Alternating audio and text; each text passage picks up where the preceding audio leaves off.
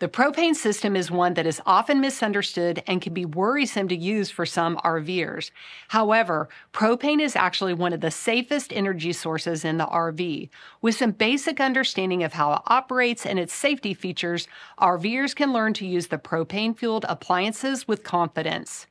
These are the parts of the propane system that we will cover DOT cylinders, ASME tanks regulators like auto changeover and single stage, the pigtail connector, service valve, LP carbon monoxide and smoke detectors, the extend-a-stay valve.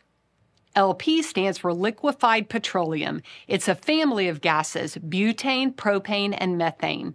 And yes, all three can trigger the LP detector, not only propane. Propane is odorless and colorless, and it's not meant for humans to breathe. An odorant is added to alert us of its presence.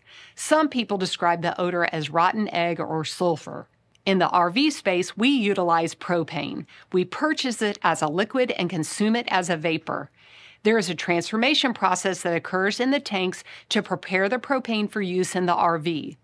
Propane is used to power the water heater, refrigerator, furnace, cooktop, oven, and outdoor grill.